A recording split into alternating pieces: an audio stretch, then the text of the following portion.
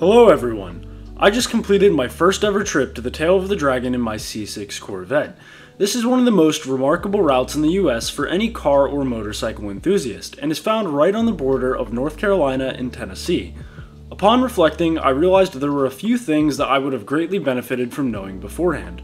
Thus, if you're planning on a Tail of the Dragon run for yourself, here's everything I can think of to make your experience better. Starting off with the most important point, do not under any conditions cross over the double yellow line in the middle of the road. I understand that if you've ever done any kind of performance driving, you might have a propensity to use the width of the road to your advantage. However, this can be lethal along this particular road. The route consists of 381 turns, many of which are completely blind, meaning you can't see the other side of them. If you or someone else happens to cross into the other lane at the wrong time, neither party involved will have any time to react, and a nasty crash could easily be the result. Deals Gap started out as an attraction mainly to motorcyclists, and remains so to this day, which heightens the stakes of a mistake as they don't have the protection of a giant metal cage. So for the sake of yourself and the experience of everyone else present, just be very careful to stay firmly on the right side of the road. Along the road you will notice two other features, pull-offs and signs. There are various pull-offs spaced out for the duration of the road designed to allow for safe passing. This allows slower cars to get out from in front of you and avoids a situation where you have to sit behind a minivan for the whole time. On the flip side, if a faster car is behind you, be sure to use these to let them through as it only makes everyone's experience better. Just be sure to use a blinker and make your intentions known before pulling off to avoid any kind of confusion. The second and more important thing here is the signs. With so many accidents on this road, signs that tell you the turnstile that's coming up next as well as the recommended speed for that turn were installed.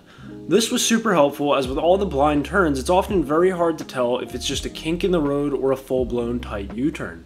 These signs will make sure that you don't get caught off guard and end up exploring nature. As for the recommended speeds, it seemed you could carry a bit more speed than what was shown, but they were certainly in the ballpark. Overall, these signs made the drive far easier. My third tip is to go on a weekday morning if possible. Not only does this greatly reduce the amount of cars on the road and allow you to fully experience it without traffic, but it becomes far safer. On weekdays, you'll get a much larger proportion of locals who know the road and understand things such as the importance of the yellow line rule, whereas on the weekend, the likelihood of running into tourists that may underestimate the road and its dangers is far greater. From what I gathered speaking to the locals, if you must go on a weekend, try to go as early in the morning as possible, as later in the day from what I hear the traffic can become rather brutal. Speaking of locals, my fourth tip is to follow a group that's familiar with the road. If you can follow along the back of any group that's familiar with the road, it will serve multiple benefits. Here in my onboard footage, I was following a group of Miatas that come here on a regular basis. Doing this not only gave me a good idea of when to brake and how hard, but enabled me to comfortably go faster than I otherwise would have. However, I think the bigger benefit comes in the form of police detection. Law enforcement regularly camps in the woods along the road looking for both speeding as well as crossing the middle line. As a matter of fact, they even pulled over a large group while I was there, and we also came up on one hiding in the woods. This is where I received a massive benefit, being at the back of a group, as everyone slammed on their brakes ahead of me upon seeing this cop, giving me ample time to check my speed and make sure that I was good before I was even in line of sight of him. I would definitely recommend doing it once without anyone in front of you to really enjoy the road and take it all in, but for the very first run of the day, this tip could save you a ticket or a trip into the trees. My next recommendation is to do multiple runs and to also check out some of the surrounding area. Now, while my first run of the Tail of the Dragon was great fun, it's also when you'll be the most apprehensive and cautious because you don't really know what to expect at first. And that's why I would suggest doing a few runs, as once you know what you're in for, you'll likely loosen up a little bit and be able to enjoy the experience a lot more. Also keep in mind that while the Tail of the Dragon is the most well known, there are dozens of other great roads in the area, many of which are far less busy. My two favorites were the Cherahala Skyway and the Foothills Parkway, which you see a clip of here. Checking out these as well will allow you to see more of the beautiful scenery that the area has to offer, while still driving some of the most fun roads in the country. Whether you are riding in a car or on a motorcycle, a mechanical failure can easily ruin your day. The tail of the dragon is quite far from the nearest civilization, and as a result, a tow can get expensive quickly and throw a wedge into all of your plans.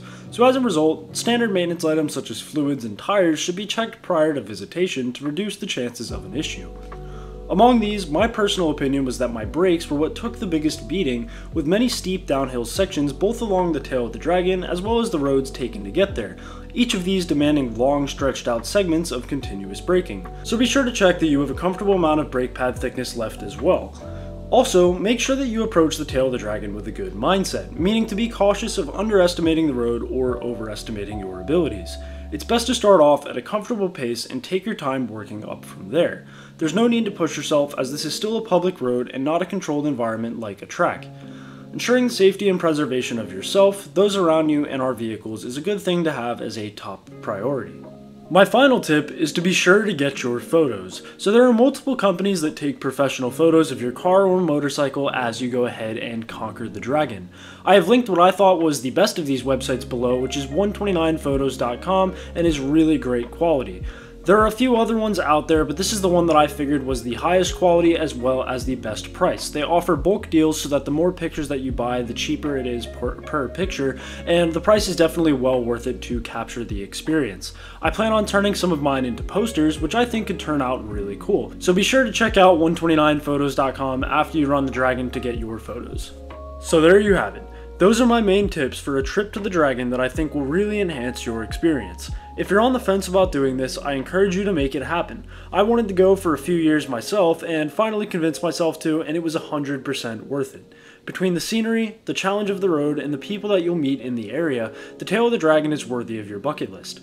I am now going to leave you with just a few moments of my raw onboard footage to give a proper idea of what the road is like. Sorry for the wind noise, I probably should have put the camera on the inside of the car, but I ended up putting it on the hood. But good luck on your journey, I wish you safe travels and hope you enjoy the Dragon as much as I did. Thanks for watching and have a great day.